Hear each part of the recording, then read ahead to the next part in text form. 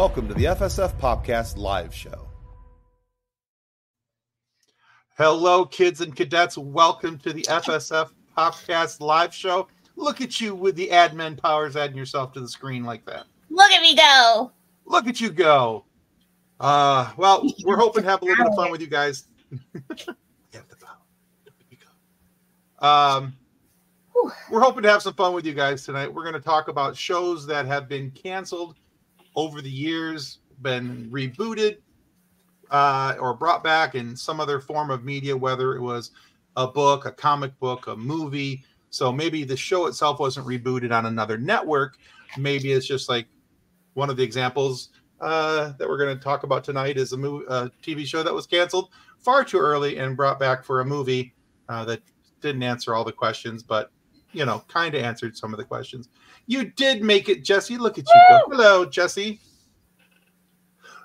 so, uh, but yeah, that's that's what we're doing tonight. This is the show, canceled and rebooted. So we're going to talk about a few of these things. Now, of course, if you have thoughts or opinions about any of the shows that we're talking about, uh, please feel free to put your comments in the notes and we'll try to get them up on the screen as much as we possibly can.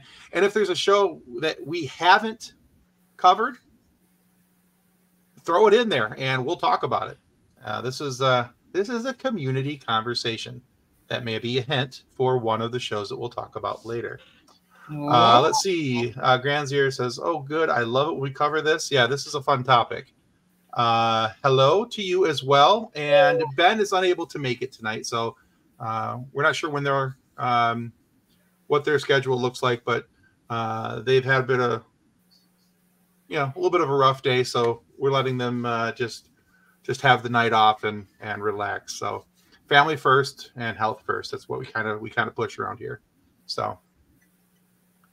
Uh, let's see, Tim, one pride, just saying. Go Lions. All right. Uh, and Jesse says, How dare you, Ben? I kid, I kid.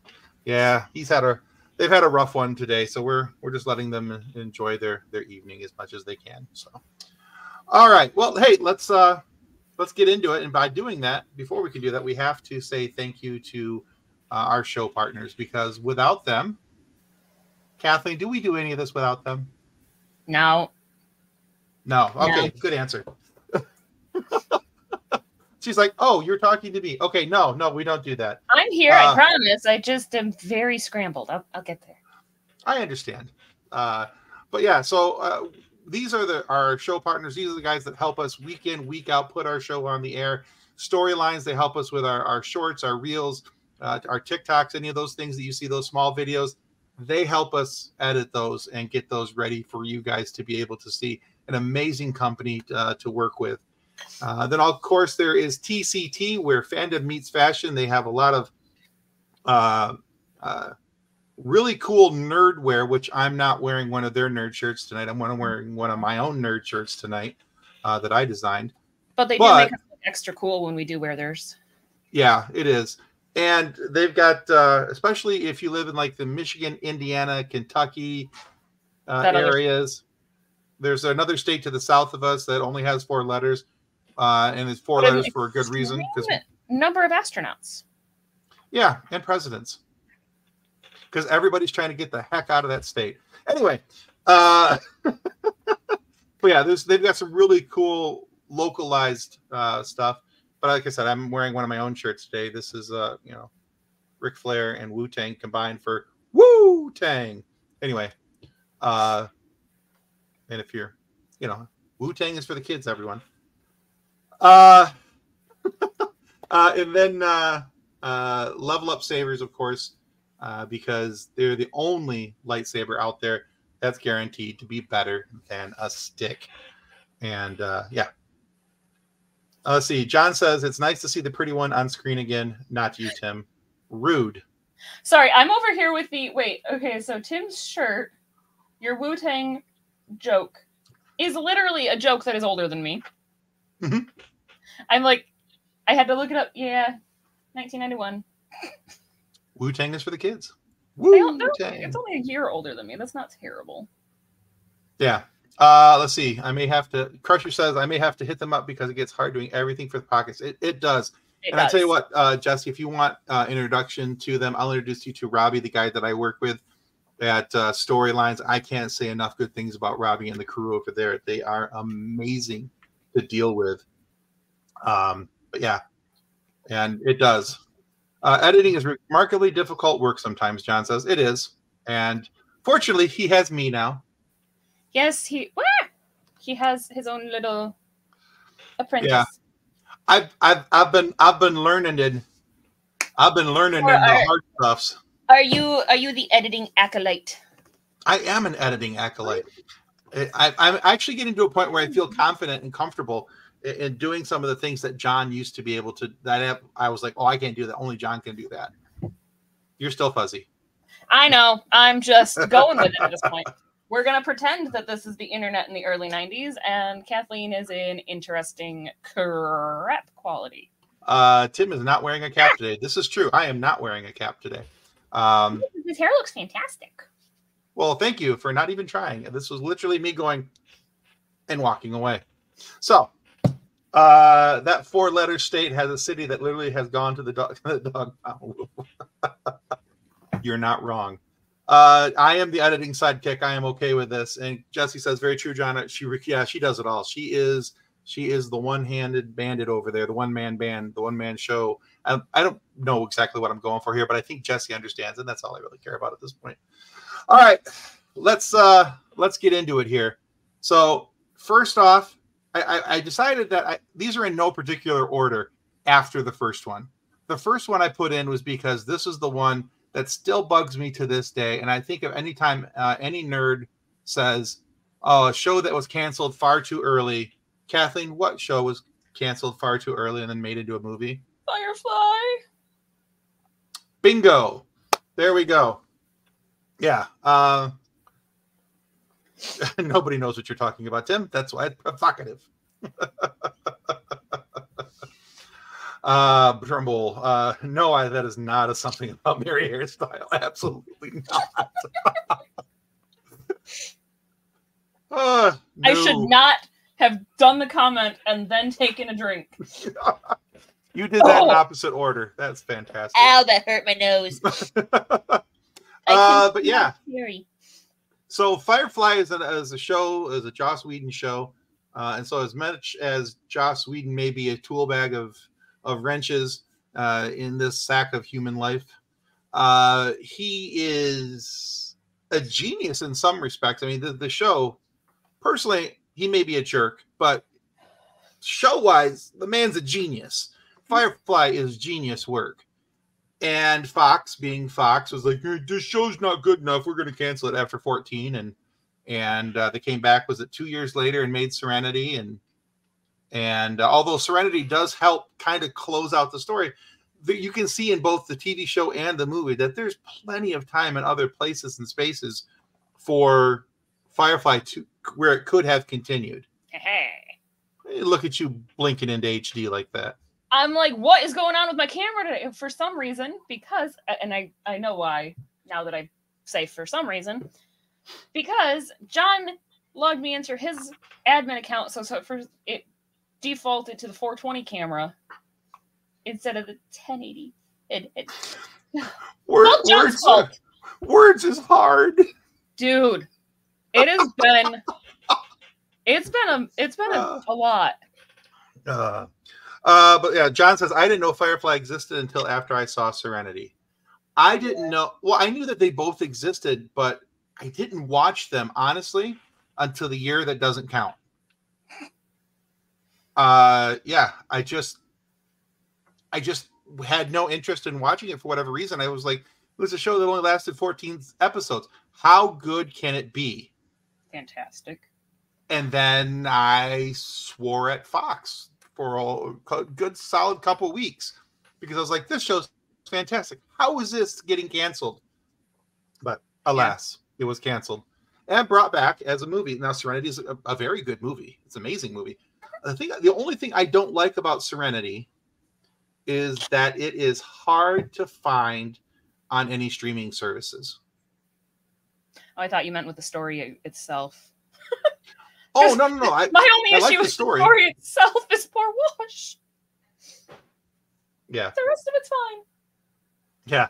It got canceled. How good it can, can it be? The common cry of the internet this month.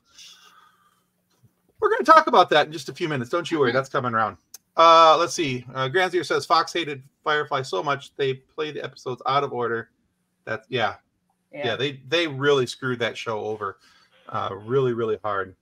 And I I did the same thing. I watched Firefly on a marathon in in, in back in 2020, year, the year that wasn't. I sat down. I think it was on Hulu at the time, Mhm. and I watched episode after episode after episode. And I I was like, I'm hooked. I'm like, so when does when does season two start? And that's when I found out there was no season two. Uh, I, I love the fact that even Alan Tudyk uh, still mocks this show, not the show itself, but the fact that it got canceled. Somebody was talking about having just discovered Firefly on Threads the other day, and he's like, "Wait till they find out about season two. right? Yeah. and I mean, even even in Con Man, they Oh, that's genius! joke about yeah. it. Yeah, if you guys haven't seen the series Con Man, starring Alan Tudyk and Nathan Fillion, and uh, there's guest spots in, yeah, there's guest Amazing. spots from all the people in, in Firefly are actually in that show. Mhm. It's it's it's in it. amazing. Yeah, it's I relate to Felicia Day's character in that show way too much. I love the fact that she keeps showing up in the same exact clothes that Alan Tudyk is wearing without him like telling Mhm. her. It's fantastic. Honestly, so like, and and you know, the internet is is a very large and crazy place, but Absolutely. I know, yeah, poor shot. Felicia Day's first scene in Con Man when she had eaten something bad and is super embarrassed about how horrible the bathroom smells as Alan Tudyk has now walked in. I, in that moment, did the yep. I understand her. I love this. this girl's got tummy problems, okay? Jesse, it's Oh, yeah, forgivable, but we, we do know you need to fix this. Yes. Uh no spoilers for Firefly. and I do oh my god, I love it. That was one of my Mhm. favorite things ever in Castle. I'm dressed like a space cowboy. Yeah. Uh that's just Castle's such a good show too. Oh. There was something. There's a show else- that got canceled but didn't get brought back, but that's an amazing show. well, and it also it it jumped the shark as well. Oh, quite a well, quite a bit the last the, last season or two. I mean, I don't want to speculate as to what was going on. There's rumors of this character having a problem with that character and yada yada yada. And I don't want to get into any of that because I wasn't there. I don't know. Um, but the last season especially felt very rushed, especially the last it few episodes of the last the last season. Didn't it? It was on air during the writers' strike too, hmm when everything got crapped. Hey, don't worry, Jesse. We're going to talk about that other one too. So, Firefly and Stargate, you need to add them both to your. the shark. That's something different, John. It's a different shark. Freaking, No, but like even laser beams. I, I know this is not tonight's topic, but Castle, and then specifically, like, I feel like it should almost get count, counted as being canceled and rebooted, was Bones. Because they had such a fantastic storyline going with the, the Gormogon. And then the Mhm. writer's strike happened, and they killed that plot line because it was Yeah. supposed to be a multi season arc. And they that season got cut in half, and so they chopped the Gormogon series. And it Well, was a lot of things. show. Yeah, a lot of things uh, from that writer's strike did not fare well No, because they went into it with one arc and they came out of it like, okay, well, we're we're just going to go with what we got available, and yeah, so no, I agree with you 100 percent on that. still bitter on that one. Uh, I loved the the Who Civil War brown coats and Firefly is maybe only on sci-fi, but that pulled yeah, a little bit for sure. Yeah. All right, uh, let's move on to our next our next one. This is like I said, from here on out, there's no particular order or rhyme or reason as it was just like I was going through and going, oh yeah, that one should be on the list. Yeah. So, and as a matter of fact, I forget which one's next. So, uh, I'm glad you have a Oh, list. I'm yeah. If only I had made a list. uh, but the show Arrested Development. Now that was on Fox for quite a while, and then got brought back on Netflix. I think for two seasons. You know, they had talked about make, perhaps making a movie, but as of as of yet, it's just a series. So, Mhm. um, I think it is only two seasons on Netflix because that's very much Netflix. Oh, the Grave Digger plot. Yeah. yeah, yeah. My wife would agree with you on all the Bones conversation. She's a big Bones fan. So, uh, does Sliders qualify here? It was Oh, canceled. I don't know that it was ever brought back though. they didn't bring it back, which is sad because I actually just started watching that one not that long ago, and that's Yeah. actually a lot of fun.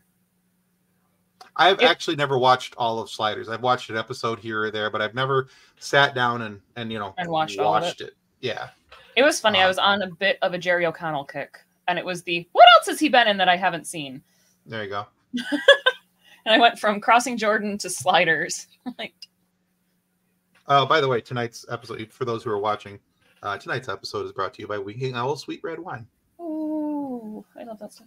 So, I actually currently do not have alcohol because I was doing the I I, I ate the foods and then it was the do I need to take the, the the the medications that make me feel like I'm not going to be sick? understood. Um, yeah. Uh, never seen Arrested Development ran in the 90s, right? Well, John answered that real quick. Uh, Arrested Development is from the early 2000s, not the late 1900s. Why do you got to word it like that, John? The early 2000s and the late 1900s are practically the same thing, though. Yeah, they- especially though for uh, TV shows and music, those eras just kind of Mm. blend right together. Especially about the 1998 to 2002, that four year span just like It's one big. so weird too when you look back at it now and you're like, wait, what the what? We were wearing what and listening to what? I mean, I wasn't because I was a child. but Uh, Jerry O'Connell No. can't remember my secret identity. I don't. I don't remember that either. Uh, let's see. I I know Bones like I know Beverly Crusher. Huge fan. Mm. There you go. My favorite Uh, thing about Bones was that it was on during dinner, and we would sit in the living room, and then I'd want to watch Bones, and then my brother would get really disgusted and not want to wa- watch it because we were eating. Ah. Uh, Grandview says uh, Sliders got canceled by Fox, but then brought back for a season two. Okay. Okay. So canceled and brought back. Uh, the, the problem with the, the bring back of Arrested Development was that we're like five years in the future.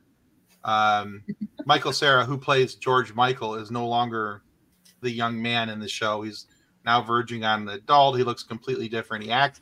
The acting is different uh, for a couple of different characters, and it's still funny, but it's not like something changed in the writers' room from the original four or five seasons to the two when it brought back to to Netflix. A good show. I strongly recommend watching it. But if you watch the seasons in order, you will notice that there's a there's a pretty good size shift from when it goes from Fox to Netflix Yeah. on how on how the the show was written. So, but yeah, Which is uh, actually also very much a, a Netflix issue. oh sure, Yeah. Um, probably not on your list because it's not in your alleyway.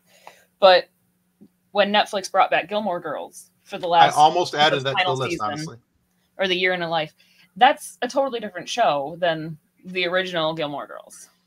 I've actually heard that before because my daughter used to watch Gilmore Girls. But that's uh, um, but I almost added that one to the list. I, I didn't do it. Uh, didn't do it, but I almost did. Uh, Granzier says uh, my secret identity was in the late '80s or early '90s. He got zapped and got special superpowers. Hmm. So uh, I did that with my husband too. But if I had Maddie watch it since she was a baby, she actually watches Bones to go to sleep. Awesome. Uh, does Freaks and Geeks count on this? So was that brought back somewhere? I think they brought it I back don't on know. As Well? Okay. I don't know enough about Freaks and Geeks. I know it was a very popular show. Again, it's another show that I really didn't get much into. Um, Freaks and Geeks was amazing. Okay, I, I keep getting told that's a show I need to go back and watch and check out, but I've never. Uh, Scaraf says, "Hey everybody, what's up, Ro? Uh, driving home from a long day. I'll check out the stream in its entirety later tonight. Cool beans, buddy. No problem." Um, uh, Stranger Things is maybe the prequel to Freaks and Geeks. I could see that. I don't know enough about Freaks and Geeks, but if you guys say it is, I'm gonna go with it. Yeah, what Jesse says, bro, right there. Drive safely. Do that. Do the thing. Uh, okay, moving on. Brooklyn Nine Nine is another one that was Gosh, I that originally oh, another, yeah, another Fox show. Uh, Cool. that Fox kicked to the curb. Cool, cool, cool, cool, cool, cool. Sorry, that has been that. that's been our latest binge watch. And You know the oh gosh, the, the funny thing to me about Brooklyn Nine Nine, um, yeah, Jess, Jess never said she got into it. Um, the thing is, I never got into it at first either, no, and I was like, I don't know, this show's just okay. And then I find myself sitting there watching episode after episode after episode, and going, how can individuals be this dumb? And then you're like, and then you just keep watching for something else ridiculously stupid to happen, and then you laugh your butt off about it. Uh, yeah, and Cheddar Oh, the yeah, corgi. yeah. So I had started watching it as an insomnia watch. So then it was the okay, Okay. well, I can put this on because I'm going to fall asleep during it anyway. Well, then John would wake up and then start watching it because he realized, oh, wait, no, this show is hilarious. So then he asked me not to turn it on in the middle of the night Cool, cool, cool, cool, cool, because he would wake up and then stay awake so he could watch more of it. But yeah, it is one of those shows that, like, even after I haven't seen, I don't think I've been conscious through every episode of it yet, but I'm still going to watch it a hundred times. it's one of those things where I don't know that I've actually ever sat down going, I'm going to watch Brooklyn Nine Nine today. Right? But every time it's on, I'm like, well, hold on, let me get a snack and a drink. I'll be right there. I have nothing against the show. It's fantastic. I well, just- and like last night, John's like John started. again, right there. I know. Absolutely. John started Brooklyn Nine Nine last night, and I'm like, well, crap! I love this episode. I have to stay awake for it now because it's the episode when they're trying to get back from San Francisco for the commissioner's interview, and the flights are canceled, and then they rent the RV, and then the RV explodes. I love the one where the Eric uh, Roberts was on like three or four episodes as you know as a guest arc, and he was like the, the the big bad guy, and like, and yeah, and uh, uh, Samberg's character has a chance to arrest him like three or four times, and each time Eric Roberts talks him out of arresting him because you know he's not the bad guy. It's just Right. funny to me. And honestly, like Terry Crews is just he's just a giant puppy of a human being. And Right? I love him. Like, especially after I found out that he is also a big D&D fan. Yeah, I'm like, I love this man. He cracks me up and his character in Brooklyn Plus, I- Nine-Nine is adorable. Plus, I believe he's from the Flint, Michigan area. He so I think so. Yeah. The other fun fact for, for those of you playing the home game, Flint's over here. Yes. So anyway. in the part that goes into your armpit. Anyway. That's why it's the armpit. I mean, it's the armpit because it's gross. But like, if you're if you're cold and you put your hands like this, where Flint is is where right in your armpit. Superstar.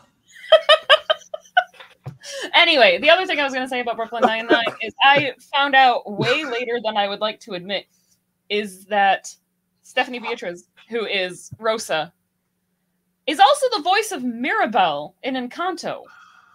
Oh, like going from Rosa to Mirabel was just impressive. yeah. She actually has a, a very soft voice, she, and she- does. and, And she gruffs it up. so yeah, funny. she gruffs it up for Brooklyn Nine Nine. So uh, Uh, There's like one yeah, episode so where she's undercover, or maybe it was after they got arrested, and she's trying to pretend that. I think it was after they got after they got arrested, and she's on the bus trying to flee, and she does the super soft baby voice, and I'm like,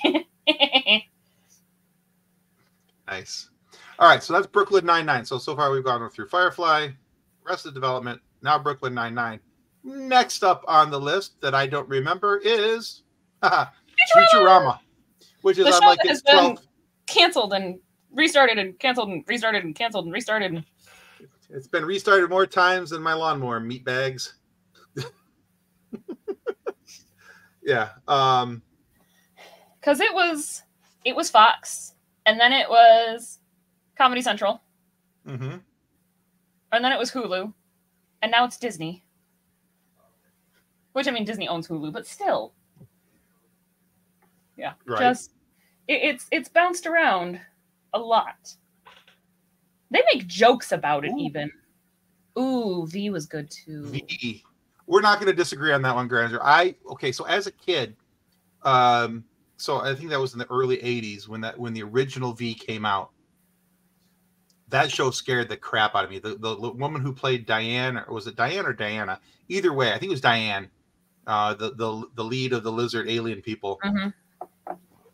She scared me. She was scary. but I mean, okay, so when that came out, I was like seven or eight years old, you know, and I remember watching that on TV. Um, but I always thought that show was really very cool, and I never understood why it went away. But I was, like I said, I was somewhere between the oh, seven to nine range, let's say, when that came out. Um, and then it's had a couple of soft reboots where they did like mini series and things like that. Um, Morena Baccarin was in the Mhm. second one, uh, but which anything that she's in, I'm like, give me a ticket, I will sit here and watch. Um, uh, but yeah, yeah, I yeah. So the, no disagreement on V whatsoever. That was uh, a show that needed more, more than it uh, more than it got. Um, let's see. Unpopular opinion. I love both V's, the '80 and 2000s. The 2000s was dark.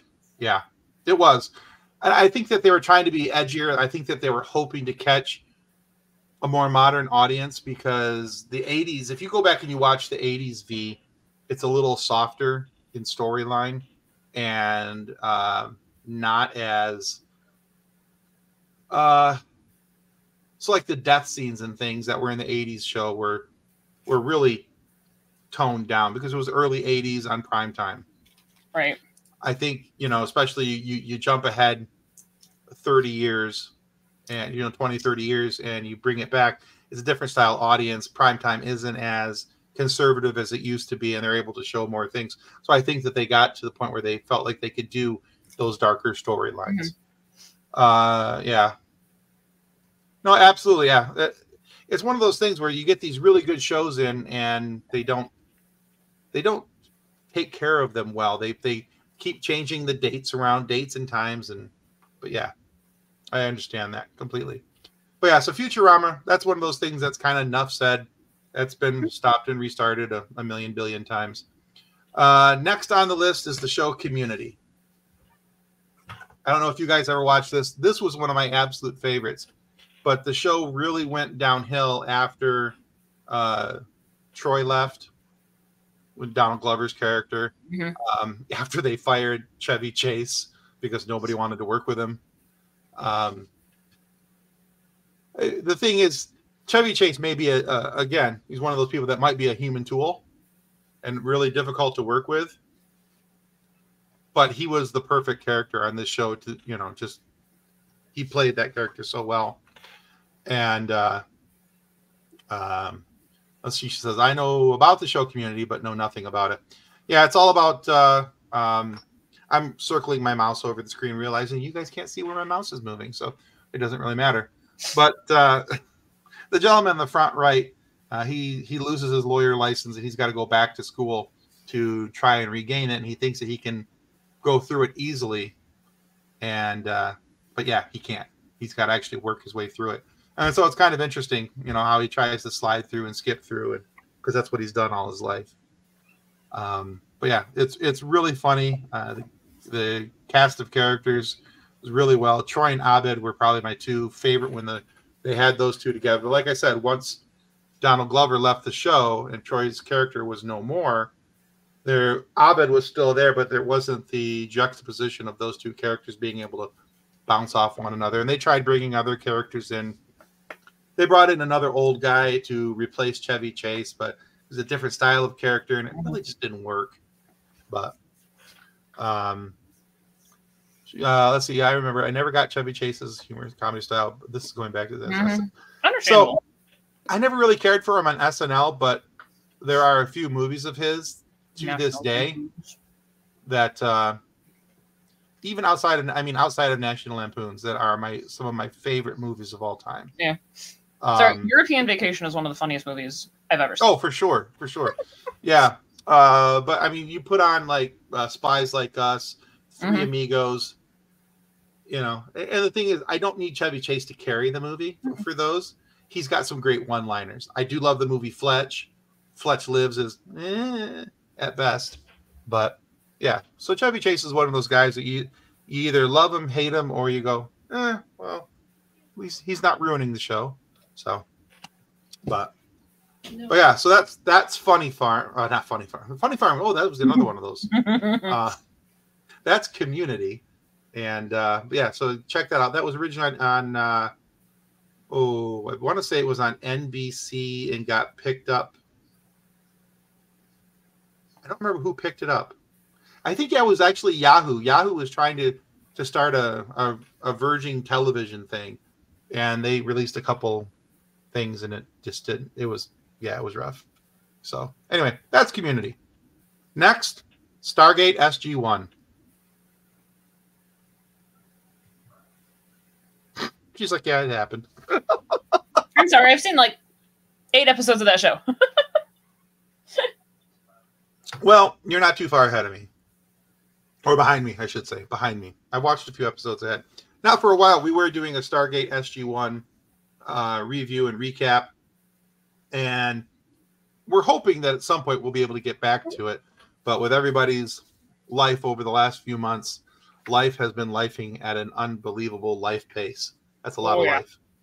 So uh, we feel good when we're able to get on here, have do a live show without anybody crying into the camera, and uh, get our interviews It's out on Friday. early. time. It could happen. We got we got 29 minutes of this sucker left. It could still happen. Uh, uh, Jesse says, "There it is. That's exactly uh, MacGyver in space, basically." Mhm. Uh, I actually I was very skeptical of the show when I first sat down to watch it, but I really grew to enjoy Richard Dean Anderson because uh, in the movie his character is played by Kurt Russell, and I liked the way that Kurt Russell played it. And then episode one of Stargate is a very large departure from the Kurt Russell way Mhm. of playing it. And uh yeah. Yeah, uh uh Stargate SG1 did get canceled. It was for a season or two off and then it came back and then it had a bunch of spin-offs and like Atlantis and was it Stargate Universe and Omniverse or Herbivore or something. I don't know. There's like 40 Stargate sequels out there. Um but he never heard of the planet Melmac. Oh, got boy. any, hey, you got any cats over there? Oh, gosh. You two are special. Uh, let's see. Super unpopular opinion. I never liked Stargate SG One. I tried to watch it. I had a roommate that loved the show. I love the movie. Yeah, and honestly, I I, I think I'm at the point where I, I don't hate the, the TV show. I think, however, what it is for me is that I probably tolerate the TV show Mhm. because I love the movie so much. Because for I think for 30 years I'd never watched the TV show. I'd only ever watched the movie. If I was going to watch something Stargate, I was going to sit down and I was going to watch the movie because I was like, well, sometimes, uh, yeah, Stargate. That's Stargate.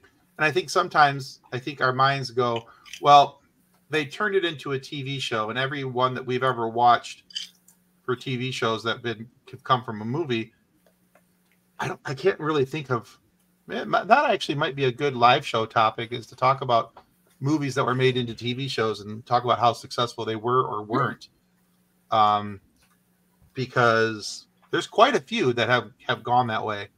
Like I think the most recent one that I can think of, other than Stargate, was um, Minority Report, Yeah. which it had Tom Cruise in the t- in the movie, so Yeah. obviously it's going to be horrible. And um, Bleh. Yeah, but I never, I, I never watched the TV show, so I have zero to offer uh, about that. Stargate Detroit 2026. uh, I think that's just the bridge that takes you over to Canada. It's not a new planet. But they're so much more technologically advanced than us. At least politer. Uh, let's see. I like Richard Dean Anderson, but I didn't like him in MacGyver. That show, jeez, was just too cheap. Okay, so I love MacGyver. I have okay, so that's a show that we could have included in this list. That was a cancellation because at the end of its show, it had Mhm. run its run and it was canceled. Uh, and then it was brought back, rebooted, shall we say? Uh, the MacGru- MacGruber doesn't count. That's that's something different, but MacGruber. Um, but the, yeah, it was just. Uh, I never watched the reboot of, of the MacGyver show. I had zero interest in it because it didn't have Richard Dean Anderson. And Right. one of the things I think, Granzer, honestly, you said here the show was just too cheesy. I think it was What it was intended to be. cheesy. Yeah, I think it was supposed to be. That's how I, at least that's how I always took it, is that it was supposed to be something a little bit, a little bit cheesy. Uh, Tim and Kathleen, Stargate, Michigan, goes to the Great Lake Pyramid. Tinfoil hat time. I mean, there's enough stuff hiding in the lakes. You never know. Ah, Who knows? Um, I don't know what I'm not wrong about, but I'll take it, Jesse. Thank you. Um, Jim's like I mean- totally out of context. I'm not wrong. Oh darn. uh, it's MacGyver. Hollycraft Original says it's a guy. It's MacGyver. Yes, fix everything with duct tape. Come on. I Not mean, just duct tape. You had to have you had to have a paper clip, duct tape, and some chewing gum, and you could make an, an atomic bomb. At least according to MacGyver. What what kind of gum? Does it have to be a specific kind of gum? Well, I mean, if you're doing it right, obviously it's going to be like Hubba Bubba or something. I was the, not wrong about Tom Cruise. There we go. It could be the fruit stripes gum that has flavor for a whole two seconds. Ooh, two seconds. You are giving it about a second and a half too much credit. that that gum has just enough flavor so that it touches your tongue and you go, "Yeah, I think that was done. I think that was supposed to be cherry and gone."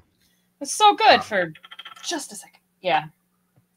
You're not wrong, John. That I'm not used to hearing that I'm not wrong.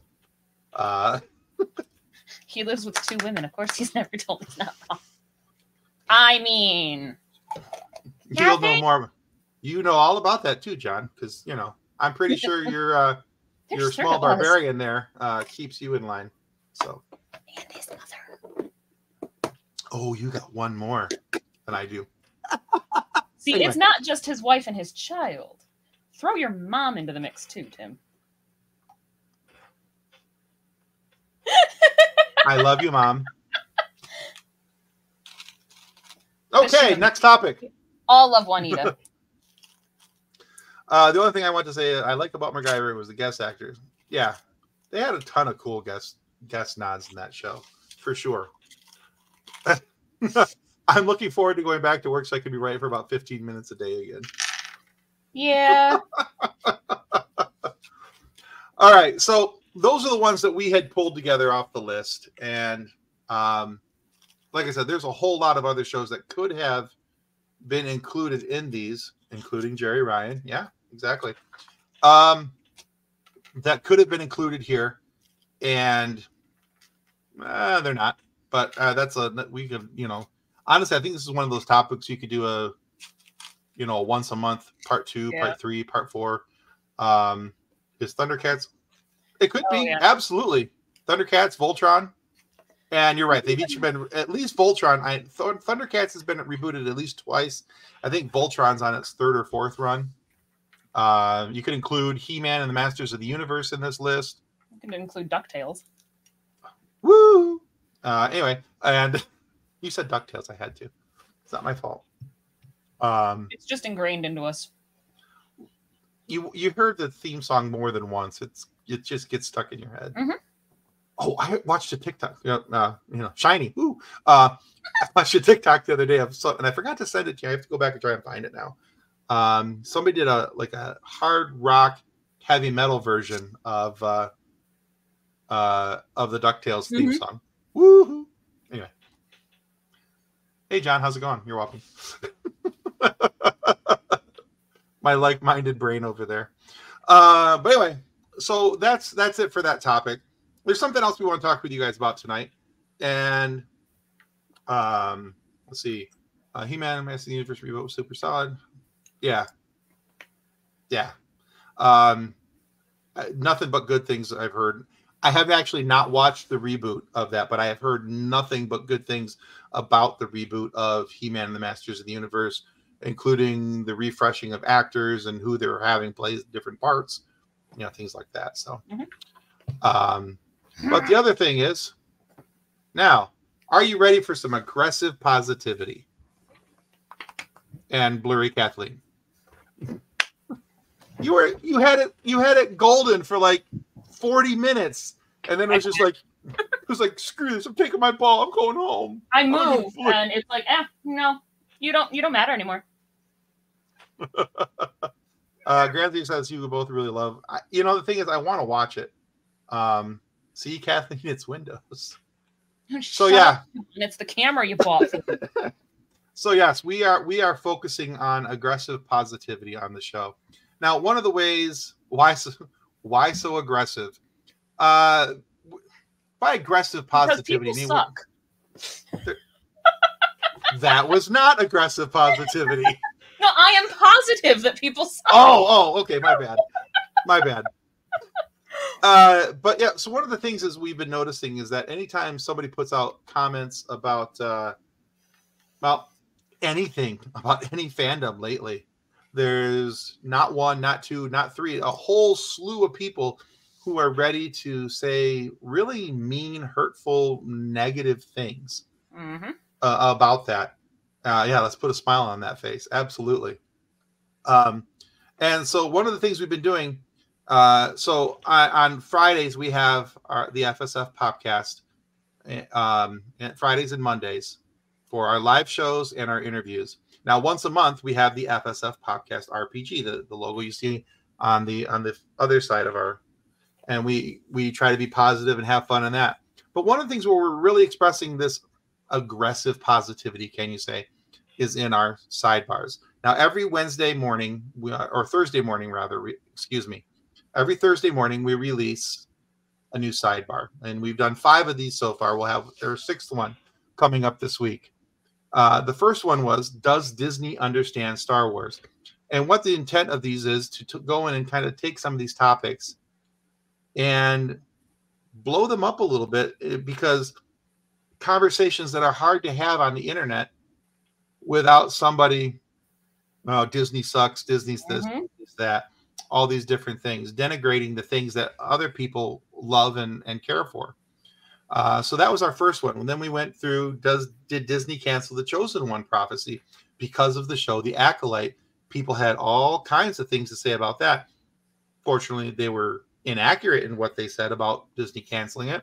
And john did a really nice job of explaining how the chosen one prophecy still carries on with anakin skywalker. The next one after that was star wars is for everyone. The oh boy the amount of comments that we have gotten from this episode alone. Wow. Um, But yeah, mm. hmm yeah. Allow uh, yeah. me to, to say though, john did get hate comments. he did. So we are expressing aggressive positivity. We are being positive. We are not toxically positive. We are not telling you that you have to like the things because we like Nope. the things. We are not telling you there's nothing wrong with this thing. No, this is not a toxic positivity thing. And the people who have mentioned that in comments and in threads are poo poo heads. And they need to stop being poo poo heads because this is our show. We do what we want. If you don't like it, you can go somewhere else. We are telling you we like these things. We are okay if you like these things. We are happy if you like these things. right If you don't like these things, shush. we're glad that you have the things that you like we want you to to we want you to like it all but if you don't that's fine too we're not saying like kathleen said never once will you hear us say you have to like this because i like this or you have to dislike this because we dislike this Right. Tim, do you like Brussels sprouts?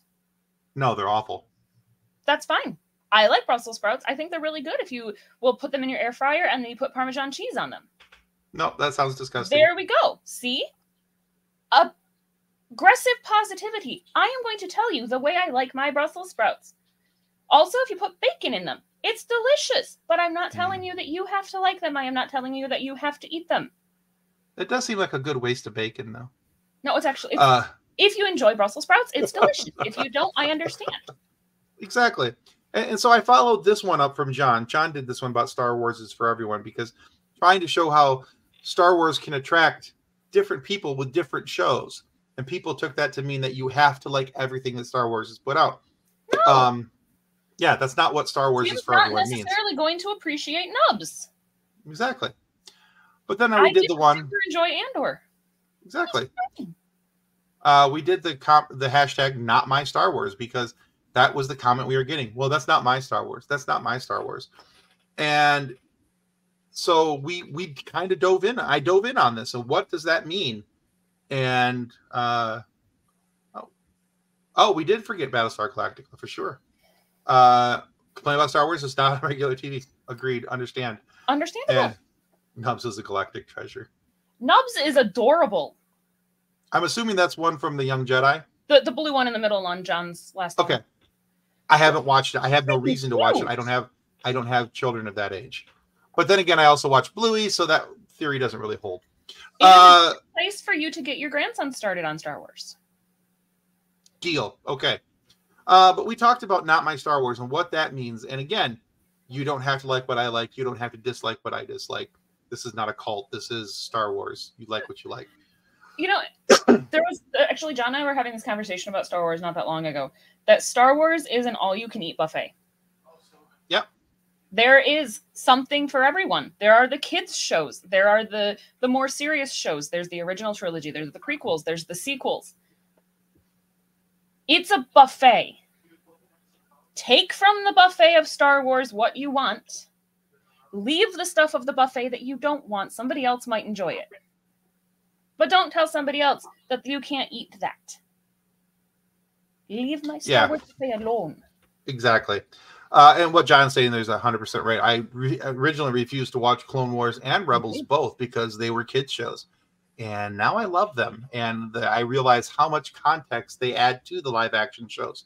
And honestly, if you look at those now and then you watch Young Jedi, Young Jedi is a kids show. Well, yeah. And I think the same way with Resistance. Resistance is for a younger age group, not the same age group as Young Jedi. That's for an even younger Mhm. age group. But um, it doesn't mean they're bad shows. It just means that they're not made for me. And that's okay. Right. Um, and, and again, look how much I love Star Trek Prodigy. I do. If you haven't watched Star Trek Prodigy, by the way, and you're kind of on the fence of, golly, should I watch something Star Trek? Go watch Star Trek Prodigy because then you're going to want to watch other Star Trek. Uh, go from that to like Lower Decks, Lower and then Decks to hilarious. and then to maybe like Strange New Worlds. Uh, yeah, good times. Um, uh, Grandier says, I wonder if these same viewers had the same disdain for the Clone Wars, the enemies. Probably. I did. I did. Um, someone claimed online tried to tell me that no one ever hated the prequels. Oh, oh my sweet summer youngling. Were Um, they not alive? if the only way you think that the, the prequels didn't get hate is if you weren't alive and you didn't know what was going on. Ahmed Best Right. almost took his life. Yeah. Jake Lloyd almost took his life. Jake Lloyd quit acting and had a schizophrenic break because Yeah. of what Yeah. toxic fans did to him. Yeah, absolutely. The fact that Um, Ahmed Best has come back at all to Star Wars says more about him than anything else. The fact that Hayden Christensen was willing to come back after the Oh, yeah. he got. Yeah. And I'm I'm hoping that at some point the hate that John Boyega and Kelly Marie Tran and Daisy Ridley is getting and all, all this will blow over and that that at some point it will be like with the prequels and they will get the love that they deserved because Yes. people forget and this is one of the things I talk about in this this episode here is that people forget that these are just paid actors who are doing what the script saying what the script told them to say doing what the director told them to do. And if you're going to have any issue with the way that something is portrayed on screen, go after the writers, go after the directors. Do not go Not after their- the actors. It's not the actor's fault. The actor's doing what they're paid, what they were told to do in, in their contract. It's really not. It shouldn't be that this hard to figure out, but people have are struggling with it. And then after not my Star Wars, I did this one. Was it something we said? Because of the number of comments that we were getting, the number of hate comments that John was getting, the number of you guys are idiots comments, and you guys know what you're talking about comments. Um, all that t- different type of stuff. Uh, the Mandalorian, uh, it's still on Disney Plus. They've done three seasons. There was plans for a fourth season. I don't know if the fourth season is going to happen right now because there's talks that they're, they're going to skip the fourth season and go straight to a movie. So it is um, currently filming, but we don't know if they're filming for the movie or filming for a fourth series. right, it's being kept pretty much under wraps because everything that happened with the acolyte. I think that they're kind of And you know, honestly, ranks. I don't blame Disney for putting things under lock and key when they're trying to do what they think we want. They're trying to give us more Star Wars. And that's what we all ask for is more Star Wars. We want more stories. We want something outside of the Skywalker saga. Mhm. And then all they do is bitch and moan about what they're given. right because, as John and I have pointed out many times, the answer for Star Wars is more Star Wars. It if you is. don't understand something, take a breath, take a beat, sit back, wait for it to come out because it will come out eventually, and they'll make more Star Wars that answers the question the you can you were. fix and fill so many plot issues and that's one of the things about sci-fi and about fantasy is that you can do all of these wonderful things because it's a galaxy far far away with a belief system that doesn't exist here we can change things it's Right. gonna be fine Yeah. not canon nobody cares Man, my friend doesn't like you. I don't like you either. We're wanted men. I love that line. Ah, Star Wars. Uh, so anyway, so that was that was last week's, and that's had a few fun comments on it as well. And I can only imagine what next week's or this Thursday's is going to be because this is the topic for Thursday. oh boy Damn the man, save the acolyte. oh no So- So yeah, um, it's going to be an interesting. It's about an eight minute, about an eight minute video, and we go and we talk about the things about the acolyte, the reasons why the acolyte needs a season two or longer. This is all I'm going to say. If you don't like the acolyte, that's fine. But you guys leave it on the stop- buffet for the rest of us yeah stop crapping on everybody else i'm so tired of, of the uh uh i got called a beta male simp because i liked the acolyte yep. Uh because i didn't have a problem with the fact that this was a show whose leads didn't look anything like me and i was okay with that. But the people fine. who aren't by the way i'd like to point out in, in the couple different places where i posted things for people to go and if they want to try and save the acolyte either with um, a petition on change.org or a way to go to disneyplus.com and and uh, tell disney that you want more of the acolyte any of the people who had negative things to say out of the 47 reactions I got on one post, uh, 22 of them were laughing emojis. Yeah. Can I Out of those- say? Sorry. one second. Let me make Yeah, this point and then sorry. you can do whatever you want. Out of those 22, 21 of them were white males. I would guesstimate between the age of 18 and 30. So they're mad because this show wasn't about a straight white male. That God forbid it had somebody, a, person of color in the lead, and then it had two Asian men in the lead. We had we had Asian men and a black woman. We had people of color in the lead. That's you know, and they're like, oh, this you know, because the story clearly wasn't written for them, and so they're having big problems about that. Can I, Um, on that note, though, can I just say that if you're watching things that only have straight white males or straight white women, you're on the wrong side of history. Uh, friends, we like to call that the dark side.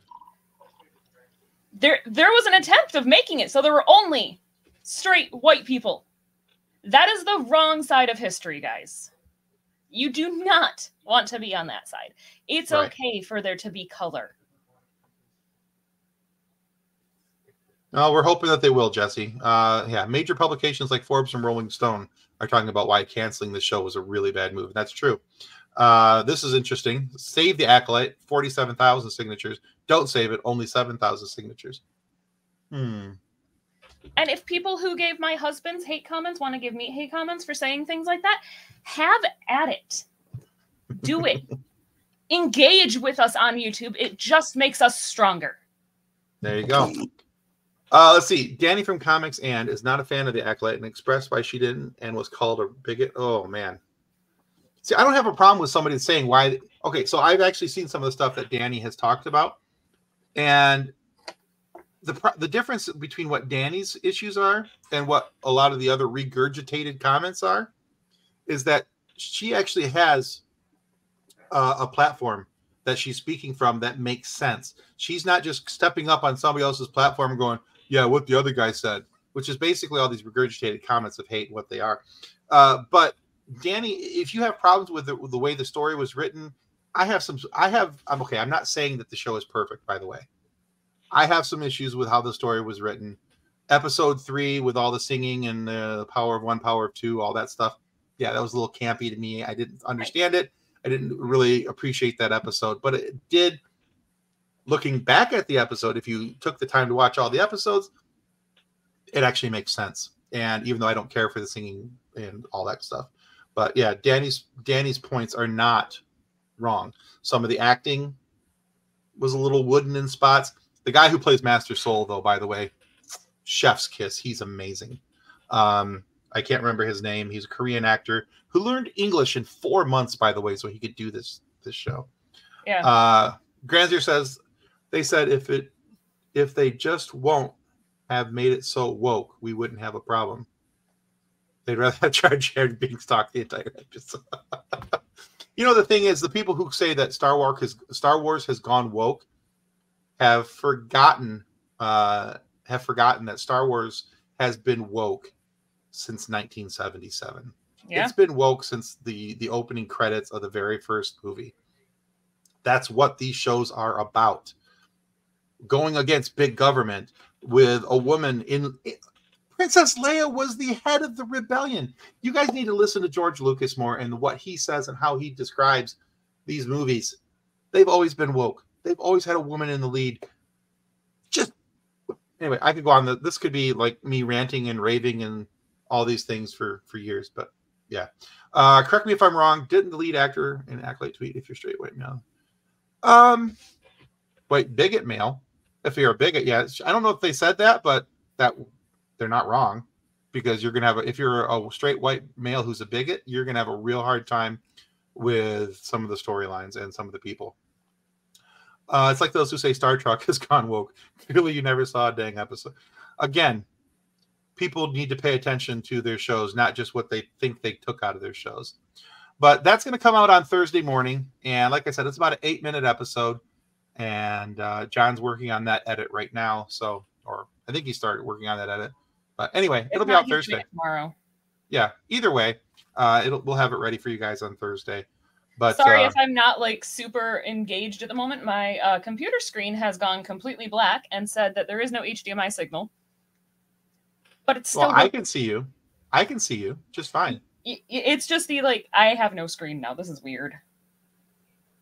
Uh, let's see. I think that was about part was about Star Wars that was missed. Yeah, it's.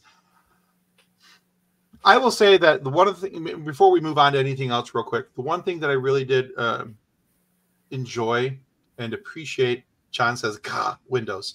Um, I I don't know what's going on. the one thing that I really do enjoy and appreciate about the Acolyte is a, it's a story set in the High Republic era. It's the first one that we've gotten in the High Republic area era in in uh, live action. I love the fact that we're getting introduced to new places, people, and things that we're not anywhere in, in Star Wars before.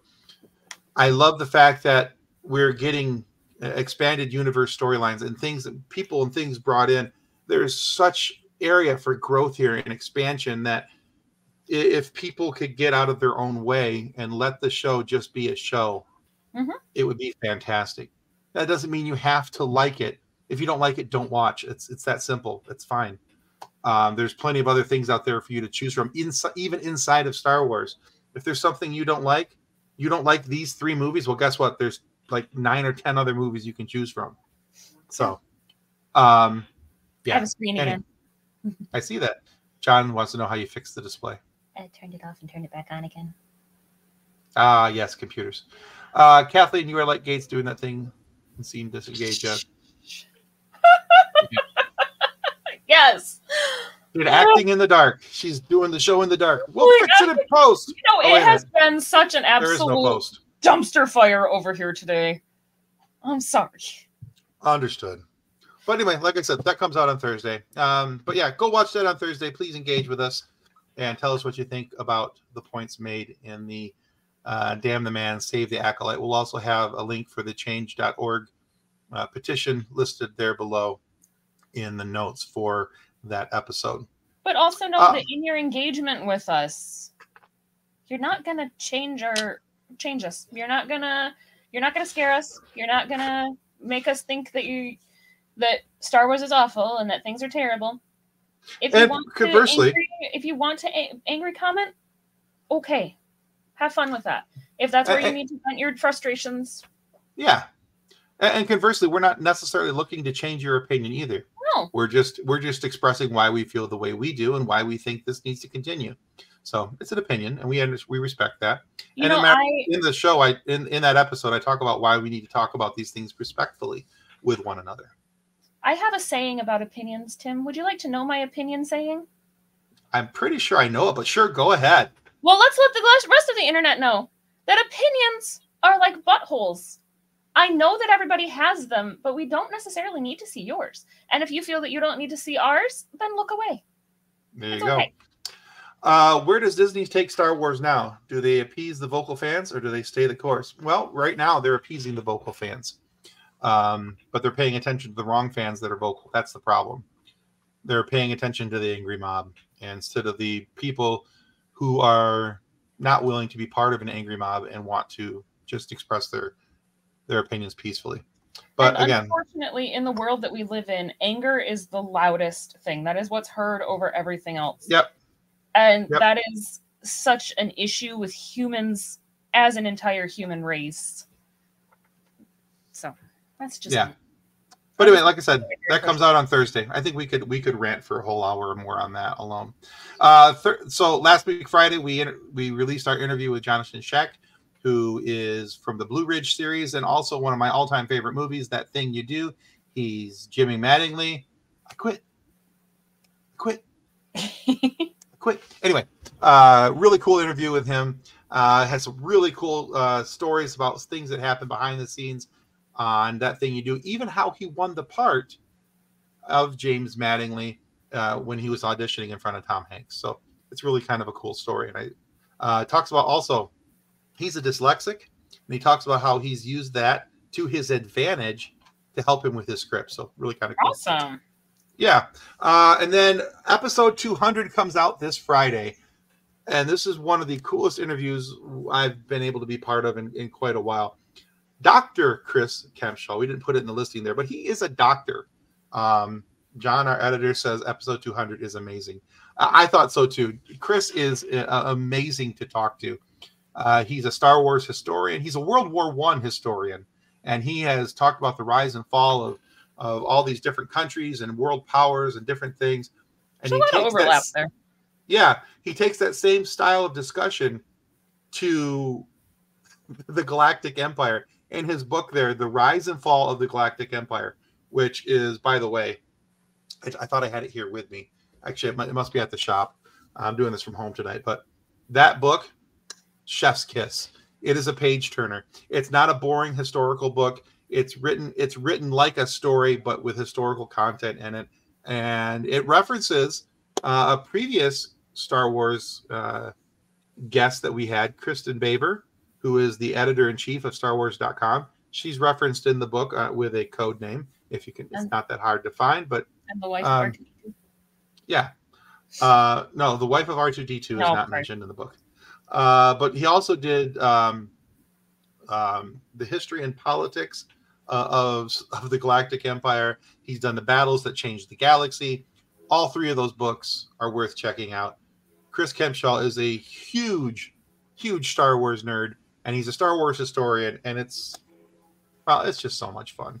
And Uh, maybe so, yeah. soon we'll actually have interviews with people other than just Tim doing them. It's, you know, it's a distinct possibility. I hope. Uh, Schedules have been dumb. have we mentioned that life is lifing very hard? So, All over the place. yeah, absolutely. And my kid starts school next week. Um, you talk about. I can't even read this. Back to the robosexuals No. No, no. Uh, Bonnie Burton. Uh, I'm getting Star Wars people mixed up because there's a lot in my brain. Yeah, Jesse, I figured you'd understand for sure. Uh, but yeah, so, uh, but yeah, these are all the places that were available. Well, some of the places, of course, uh, YouTube, Patreon. You can listen to us on Spotify, Apple, Good Pods, wherever you get your favorite audio podcast from. Trust me, uh, we're there. If not, let us know, and we'll make sure that we get on that location. We But, especially uh, love Good Pods though because Good Pods loves us. they they take good care of us. What can I say? Uh, but yeah, I think that pretty much concludes us for tonight. Any parting thoughts? I have a first grader. Yeah, I got a senior. How, how do I have a first grader, Tim? I don't know, I- and I'll only have. I may have had some wine tonight. She she was 18 months old when the pandemic started. How do I have a first grader? Sorry. I understand. I understand. It's only gets rougher from here. I know. And on that note, Goodbye. goodbye. Live long and prosper, and do all the things. Yeah. Um, I am not a senior citizen. Jesus. He's really not that much older than you, John. Okay, shut up. Okay, bye. I meant that to John. You can keep talking. We're just going to start the video. Copyright 2024 FSF PopCast.